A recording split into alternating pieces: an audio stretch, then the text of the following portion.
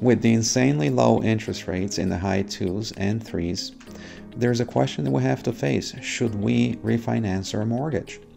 Stay tuned for my perspective as a realtor and a homeowner. Let's first take a look at why we normally want to refinance our mortgage. There's a number of reasons, whether it's to lower interest, lower a monthly payment, perhaps convert from an adjustable rate mortgage to a fixed rate mortgage, or go from a 30 year mortgage down to a 15 year mortgage, etc., etc. The bottom line is the objective is to keep as much money in our pockets as possible. That's what we're trying to accomplish by refinancing our mortgage to save money. So, what are some of the questions that I go through personally to help me get to a decision? Well, first, the very first thing I want to know is how much will it cost me to refinance, right?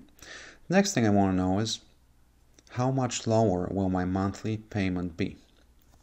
Another thing that I'm very interested in is how long will it take me to recover the cost to refinance, right?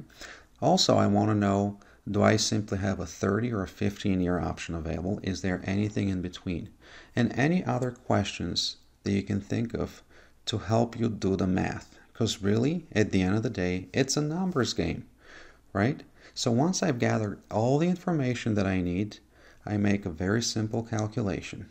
I look at what I currently have, my current mortgage, and say, what will my expenses be if I do absolutely nothing, if I just uh, keep the status quo? And then I make two different projections. I make a short term projection within five years from now, and then I make a long term projection, 25 to 30 years, right? And then those projections are based on the new loan terms, on the refinancing. And I look at what the costs are from the short and long term projection.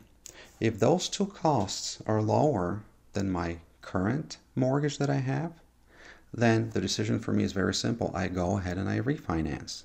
But if any one of those projections end up being with higher costs than what I currently have, then the answer for me is no. I hope some of this will help you and put you on the right track. And as always, with questions, comments, suggestions, please don't hesitate to reach out, and I will see you all next time.